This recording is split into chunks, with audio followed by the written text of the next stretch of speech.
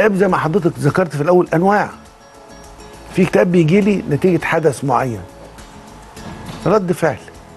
واحد لا قدر الله عنده مرض عضال ومش شايف استجابة فبيجي له اكتئاب. واحد خد أدوية. في أدوية بناخدها. بتجيب- أدوية للضغط أدوية لبعض الالام الروماتيزمية أدوية لأمراض متعددة. بتعمل اكتئاب. تمام.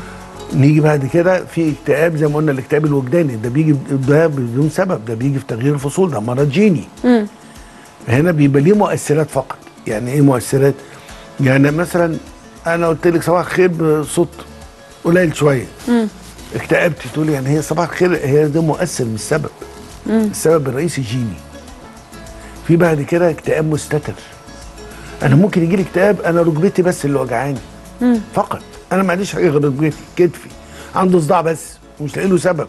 الم في رقبتي بس وعمال أعمل رنين وأعمل علاج طبيعي وأدوية ومش عايز أستجيب. ده بنسميه اكتئاب مستتر. لما بنتكلم مع المريض اللي فيه حاجات تاني. بس طبقة الصدر آه. طبقة صدري. يبقى مش قادرة اتنفس بصي. أجي أتكلم مع حد. فكرة إن أنا إزاي يا إزاي؟ دكتور يعني عايزة أقف عند النقطة بتاعة النفس دي لأن هي ساعات يعني أنا شخصيا بتجيلي بس فترات معينة ألاقي إن أنا نفسي مش عارفة اطلعه افضل لحد أما يطلع أقول خلاص الحمد لله دي ليه؟ بس فترات معينة وبروح لدكاترة كتير ما بلاقيلهاش حل. لك ليه. بص يا فندم لازم الناس تفهم المرض النفسي مرض عضوي في المخ. امم زي أي مرض زي الكبد زي الكلى زي. أي القلب.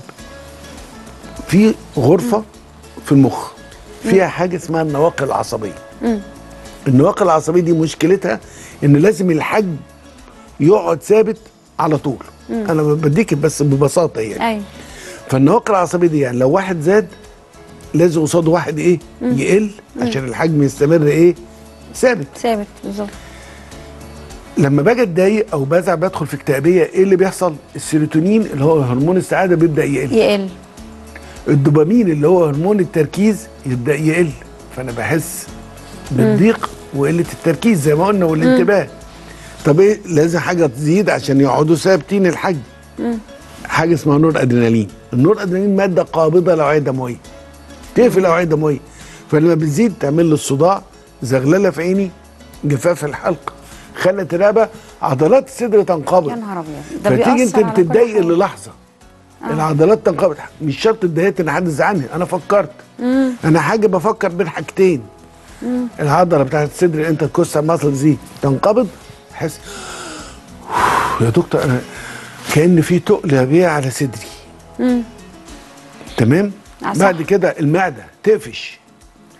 ليه؟ إن النور الادرينالين لما بيزيد بيزود افراز الأوعية الدمويه بتقفل.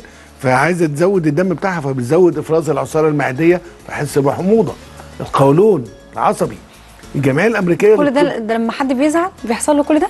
الجمعية الأمريكية للطب النفسي كانت مطلعة 2018 آه. 60% من مرضى ال irritable bowel syndrome اللي هم عندهم القولون قولون. العصبي ده مرض نفسي مش عضوي.